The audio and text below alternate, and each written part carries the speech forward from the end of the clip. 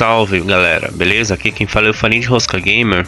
Eu vim falar sobre uma pequena novidade. Algumas pessoas já conhecem, outras não. É possível para quem tem PC jogar o RetroArch sem precisar instalar ele. Só que os recursos é básico e é mínimo, entendeu? E também dá para fazer isso aqui no Xbox, no navegador de internet entendeu? Só que vai precisar de um teclado e um mouse USB conectado no Xbox para poder funcionar e os jogos tem que estar tá dentro do pendrive. Não é todos os coles que roda. Eu já fiz alguns testes aqui. E esse aqui é básico, entendeu? Mas para quem quiser conhecer o RetroArch antes de assinar o DevMod, pode fazer esses testes, só que tem que ter muita paciência, porque no Xbox ele é complicado no navegador. Agora aqui no navegador de internet do, do PC fica mais fácil. Então vou fazer um pequeno tutorial básico aqui para vocês verem. Eu achei até interessante, entendeu? Ele roda mesmo. Eu achei que não, mas ele roda. Vocês vão ter que entrar aqui, ó. Nesse site aqui, ó. Tá vendo? É da libreta, ó. Nesse aqui, ó. Para vocês poder ter o acesso. Então eu tô fazendo aqui no PC para vocês verem. Vamos lá. Aqui aonde tá os cores. Não é porque você tá vendo um core de Neo Geo, Neo Geo infelizmente não roda, entendeu? CPS 1, CPS 2 roda. Nintendinho aqui, ó, roda. Mega Drive roda, só que não roda com com total velocidade não, viu? Tem umas falhas de música, tudo, então você só pode jogar o jogo com ele acelerado entendeu? É como se diz, você está acelerando o FPS para fazer os testes. Mas eu vou explicar aqui para vocês. Nintendo 64 não, PSP esquece, Mami 2000 esquece. Esses outros cores não. O máximo que vai rodar aqui, ó, CPS 1, CPS 2, Nintendinho. Deixa eu ver qual mais. Nintendinho também, que é Nestopia também roda também. Pico Drive também roda. Porque você pode ver que tem dois cores de Mega Drive. Então o melhor é o Pico Driver. Kick NES, Nintendinho também. O Super Nintendo roda também, mas preferência roda esse 2010. Deixa eu ver outro aqui que roda. Esse VBA não lembro se era Game Boy, entendeu? E tem aqui os consoles mais antigos roda, entendeu? Vamos fazer um teste aqui. Isso tudo pelo navegador eu vou escolher aqui, ó, SNES 9X 2010, ó. Cliquei nele, vamos esperar ele carregar aqui. Olha, ele tá carregando, ele demora um pouco para carregar, viu? Agora eu não sei qual é o procedimento do do navegador do, do Xbox. Tem aquelas falhas lá, mas vocês vão precisar de teclado. Então, ao, os cores aqui é como se diz assim: uma hora ele vai reconhecer o seu controle e outra hora não. Então você vai precisar de um auxílio de um teclado e um mouse no Xbox para você poder mexer e fazer o teste para saber, porque o meu aqui não é USB, né? É entrada DIN, que é do PC. Eu vou arrumar um teclado USB, um mouse USB para fazer um teste. Depois que executar o jogo, tem que ver se ele vai rodar com controle. Se ele não rodar, você vai ter que usar no teclado. Que eu sei que o Shift do lado direito, debaixo do Enter, é o que encaixa a ficha. E o outro é o Enter. Porque eu fiz aqui no PC, o que aconteceu? Ele entrou como dois player, entendeu? Mas não dá para jogar online nem nada não, viu? E tô avisando também, não se esqueça aí de deixar um like se inscrever no canal. Dá uma força aí pro Fox aí, um parceiro, o Robert Game também que hoje a gente vai fazer umas partidas online do Xbox Zone, hein? Vamos lá, escolheu aqui o núcleo, entendeu? Vamos executar. Ele demora um pouco, alguns segundos, ele vai executar. Só que ele vai executar no modo OSM, que é esse modo aqui, ó. Tá vendo? Por isso que você vai precisar de um teclado e mouse, porque se você for fazer isso no Xbox, no navegador de internet padrão, toda vez que mexer no controle, ele vai voltar lá para o início de novo, vai atualizar o navegador e você não vai conseguir, porque para mexer é estilo o o Nesbox. Quem já conhece o Nesbox é aquele que você tem que clicar aqui fora, acionar controle, depois clicar aqui. Só que esse aqui do RetroArch é diferente. Do Nesbox é mais fácil você executar o jogo do que por aqui, porque por aqui é muito complicado, porque na hora que você coloca o modo controle, beleza, o modo controle vai ficar aquele desenho do mouse aqui, entendeu? Então acontece, então aqui você vai conseguir selecionar lá e na hora que você vai escolher o jogo, o pad ele não vai reconhecer, então você precisa do auxílio de um teclado e um mouse. Vamos lá, entrou nesse menu aqui, você vem aqui em Driver, vem nessa opção menu que tá, tá lá Ozone, clica nele e coloca XMB. Colocou XMB, você vai apertar o back do teclado e vai voltar. Aí depois você vem aqui menu Kit RetroArt. Pronto. Agora você vem aqui e atualiza o navegador. Agora vamos para ele recarregar tudo de novo. Recarregou, é só dar aqui. Isso aqui é apenas um quebra-galho, até que eu gostei, cara. Pronto, ele entrou naquele menu lá, tá vendo? Se alguém quiser tela grande, é só clicar aqui, ó. Ele vai entrar em tela grande. Apertou ESC, ele voltou. Entendeu? Então eu vou colocar aqui, ó. Tela grande ainda não, eu vou colocar depois. Para você adicionar o jogo é totalmente diferente, ele não reconhece as unidades do computador, é só via HTTP. Então vocês vão fazer o seguinte, ó, adicionar contente aonde vai estar tá sua ROM. Eu coloquei Super Nintendo, então eu vou atrás da ROM do Super Nintendo. Meu desktop aqui é uma bagunça, eu vou pegar uma ROM aqui, ó, ROM. Abrir, Dá um tempinho que ele vai carregar. Eu vou abrir a tela. Agora eu vou no teclado lá. Load Content. É só apertar aqui o Enter. Start diretório. Se você clicar Download, tem alguns joguinhos aqui, ó. Mas você pode ver, é cada um do core que vão funcionar, entendeu? Mas esses que vocês estão vendo aqui, ó. É só teste dele. É através disso daqui que eles conseguem melhorar o RetroArt lá para ser executado no Xbox e no PC, entendeu? É o trabalho deles, então a gente não vamos mexer. Clicou aqui, ó. Vou voltar de novo. Load content. Start diretório. A sua ROM já vai entrar aqui fora. Pode ver que essa ROM que eu acabei de colocar, ela não entra junto com a deles lá, entendeu? Ele não vai acessar lá, porque lá é pessoal deles, então a gente não vamos mexer. Vamos mexer aqui, ó. Enter, enter de novo, pronto, vai ser executado. Pode ver, ele tá travando, ó. Ó o áudio como é que tá. Escute bem isso aí, ó. Esse é o áudio. O que acontece? Para melhorar é só você apertar o espaço. Tá vendo? Ele vai ficar essa flechinha e ele vai acelerar. Eita, apertei o botão errado aqui. Vamos ver se vai funcionar o controle. Olha lá, o controle não vai funcionar, tá vendo? Ele mostra conectado lá, mas ele não vai. Então aperto o Enter. Agora eu não sei se é com fio ou sem fio, entendeu? Ainda não fiz o teste. Tem que fazer o teste no no Xbox, mas conforme que eu tô fazendo no PC, ó, tá até rodando legal, cara, no navegador. Então praticamente vocês podem jogar o RetroArt na versão do do HTTP do seu Internet Explorer, entendeu? Não é aquela coisa, ó. Eu vou tirar o espaço, que é essas flechinhas aqui de frame rate de acelerar, eu vou tirar, ó. Tirei. Então o jogo tá carregando, ó a lentidão. Entendeu? Agora quando você aperta, olha lá, ele fica mais rápido, entendeu? Então dá pra você jogar. Depois ele, estabiliza, é, ele vai estabilizar o áudio normal, entendeu? Aí, ó. Dá pra brincar à vontade aí, ó. Olha lá, do navegador, mano.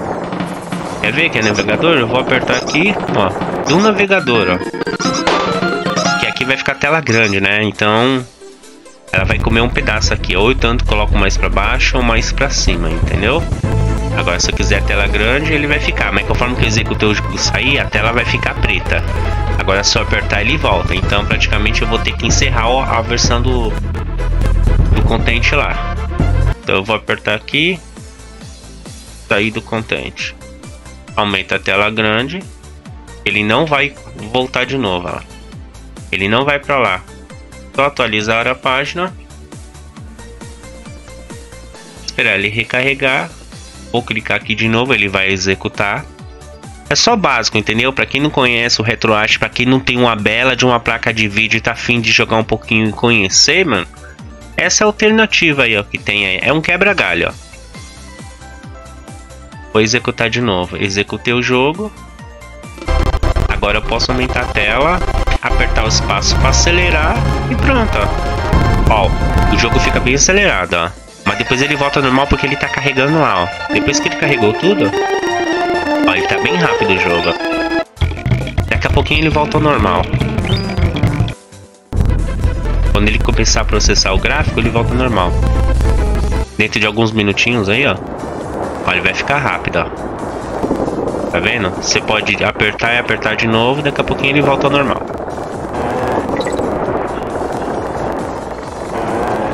Quando você vai jogando, daqui a pouquinho eles vão liberando os processadores lá e você vai jogando. Fica um pouco rápido, daqui a pouquinho ele volta normal.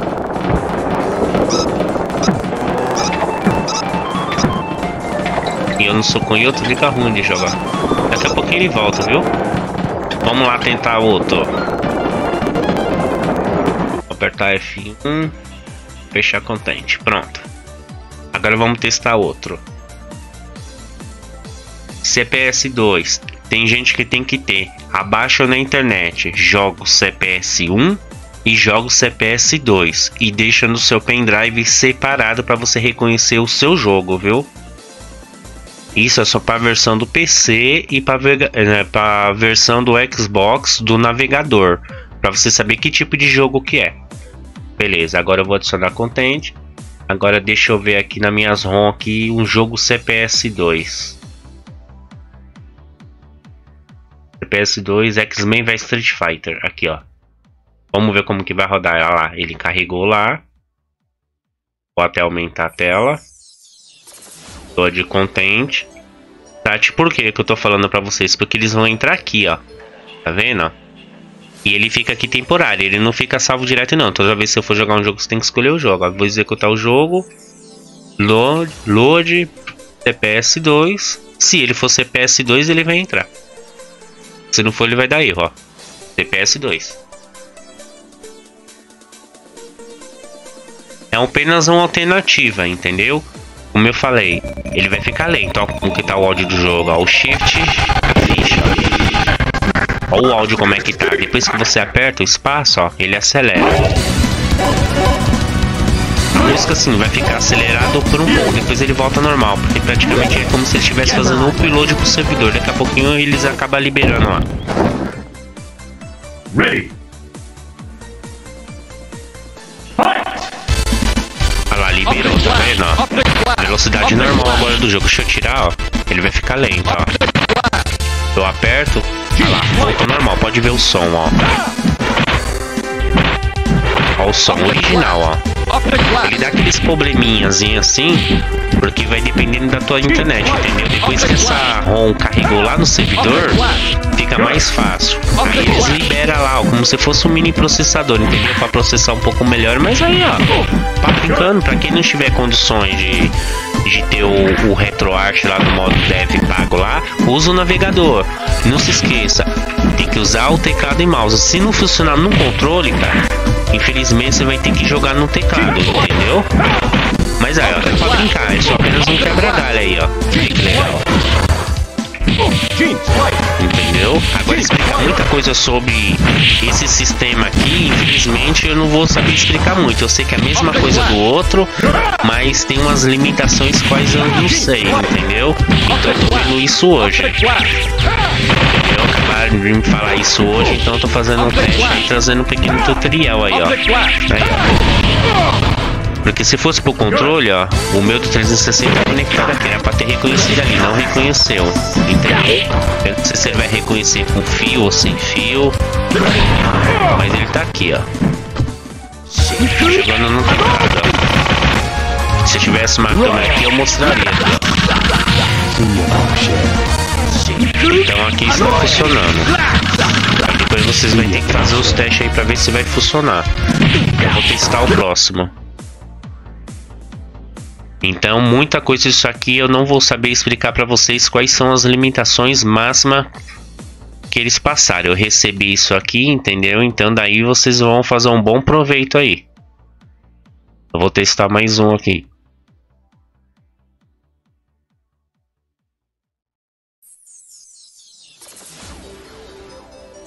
Vou fazer o teste nesse, nesse topi aqui. Para não esticar o vídeo, eu vou fazer só esse aqui. Então o restante vocês vê qual que vão rodar.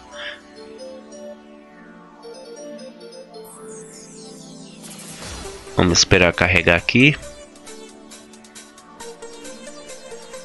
Se não carregar, vai ter que dar um refresh na página.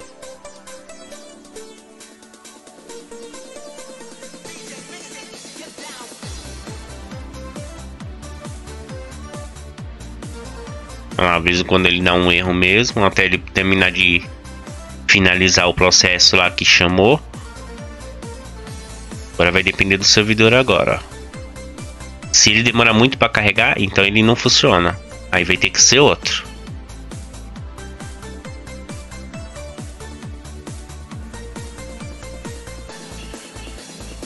E tô achando que é o meu navegador mesmo.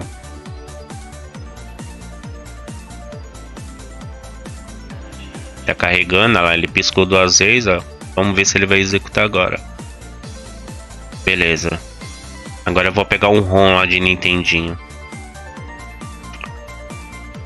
Nintendinho. Vamos ver aqui o conhecido aqui, ó. Vamos testar o Mario aqui. Só que Mario eu vou deixar pouco tempo, viu? Porque senão o YouTube vai me pegar. Me pegar não, que vai me pegar aquele bot do YouTube lá os direitos autorais da música, né? Conforme que é Nintendo, Nintendo é ruim.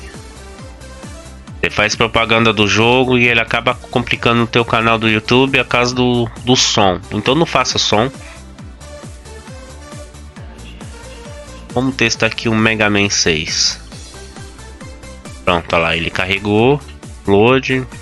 Start, Mega Man 6, Load arquivo, Distopia. Vou abrir a tela. Vou acelerar aqui. Vai ficar o áudio normal. Não muito, né? Fica uma alteraçãozinha, mas aí, ó. Quem não tiver o Dev Mod aí, ó, quiser fazer o risco, não se esqueça. Vou avisar mais uma vez. Precisa de um teclado mouse USB conectado no Xbox você ter acesso. Agora eu não garanto se do o controle vai dar acesso, que conforme que aqui é navegador, eu não tenho garantia, entendeu? Então aí vai de vocês fazer seus próprios testes aí.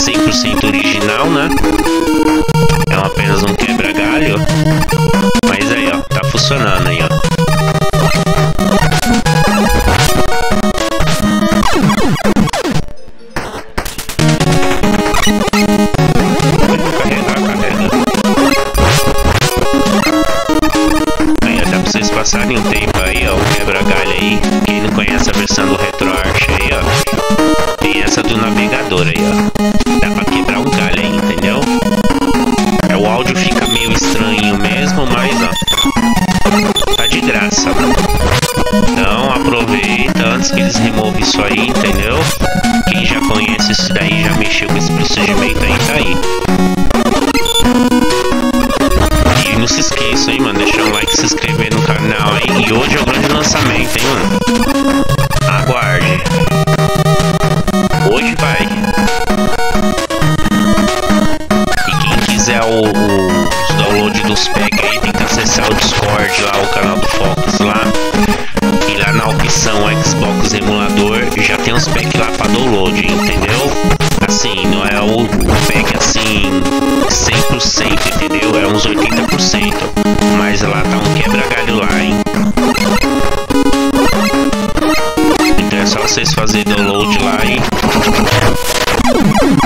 Começar a jogar. Então, galera, é isso aqui que eu tô mostrando pra vocês, entendeu? Essa é versão do web aqui, ó. Note bem isso aqui, ó. E vocês fazem um teste aí, entendeu? É a mesma coisa. Que nem aqui. Escolhi o Core, que é o Nintendinho. Depois cliquei aqui, ó. ADD. Quando abrir o ADD, se for no Xbox, você sabe, ele vai abrir aquela tela preta. Tudo lá, você vai clicar lá, não tá só pendrive, vai escolher o jogo, ele vai rodar. Eu vou fazer mais um teste aqui, ó, CPS 1. Deixa eu ver aqui, ó, CPS 1. Vamos esperar ele carregar, ó, ele vai ficar piscando. Depois que ele piscar, ele vai acender aqui um. Pronto. Beleza, agora eu vou pegar algum jogo do CPS 1. Que eu sei que o CPS 1 tem nos pack lá. Eu vou naquele pack lá online. Que já são CPS 1. Neo Geo não roda, viu? Deixa eu ver se é CPS 1 aqui. Vamos ver Final Fighter. Vou abrir a tela grande. Vamos ver aqui Final Fighter. Vamos ver se ele é CPS 1. Se for CPS 1, ele vai ser executado. CPS 1. Para colocar as fichas é o Shift, viu? Espero que o CPS 1 seja Shifter, né? É isso mesmo. Vamos acelerar.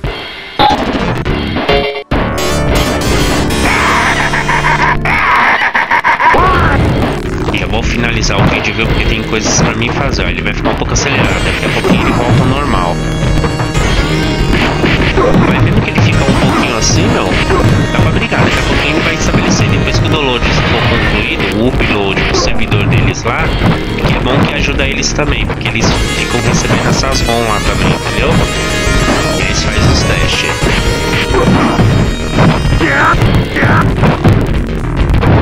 Então, que nem eu falei, aquela parte das ROM lá. É bom a gente nem mexer na direção particular deles, entendeu? Não dá pra gente excluir nem nada, mas é bom nunca mexer o que não pertence a gente, né? Então é melhor deixar lá porque depois eles acabam não gostando, entendeu? Dá algum problema aí, então acaba removendo isso aqui. Aí ó, só se divertir. Eu sei que no PC você tem outros tipos de emuladores melhor que esse aqui. E o próprio RetroArch no PC, entendeu? Mas aí dá pra brincar, ó. Se você aguentar jogar lento assim, ó.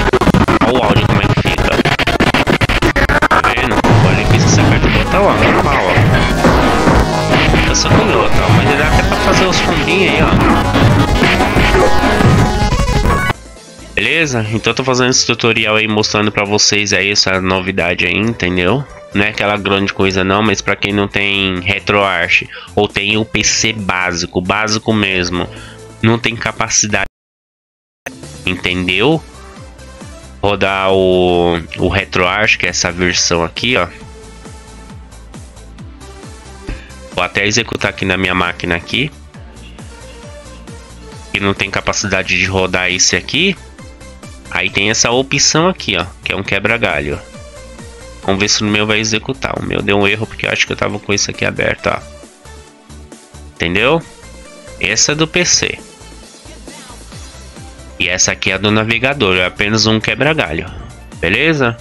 Então eu vou indo, não se esquece de se inscrever no canal e deixar um like aí para fortalecer. O vídeo ficou um pouquinho esticado aí, mas isso aí vocês fazem um teste aí, depois vocês comentam para mim o que, que vocês achou, se valeu a pena mesmo ou não, entendeu? Já vou deixar o recado aqui no final do vídeo. Precisa de um teclado e um mouse USB conectado para quem for fazer no Xbox, quem for fazer no PC não precisa. Para quem tem um PC fraquinho aí, ó, isso aqui é alternativa. Já tô avisando. Não pensam em vir aqui diretamente no Neo Geo, no Dreamcast ou GameCube se aparecer alguma opção tem 64, que felizmente não. Aqui é só os básicos mesmo. Entendeu? É o basiquinho mesmo. Mas beleza, hein? Valeu, galera. Fui. Tell me pretty lies, look me in the face Tell me that you love me, even if it's fake